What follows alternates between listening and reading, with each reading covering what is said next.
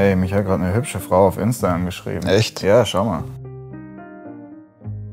Ah ja, solche bekomme ich ja. Ich glaube, ich bin verliebt. Du weißt schon, dass das fake. Geht ab, Jungs. Ich habe mich verliebt in eine wunderschöne Frau. Glückwunsch, Mann. Wie heißt sie? Ähm, Thomas Frank Augusta. Ja, okay, das ist ein wunderschöner Name. Das ist ganz klar ein Männername. Ich denke nicht in so Gender-Klischees, Mann. Ja, aber was mit dem Link? Was? Voll viele Frauen senden heutzutage einen Link als erste Nachricht. Das ist moderne Welt. Ja, so habe ich meine Frau kennengelernt. Was soll ich hier zurückschreiben? Klick auf gar keinen Fall auf den Dann Link. kannst du mir vielleicht kurz zeigen, wie du es bei deiner Frau gemacht hast. Ja, klar.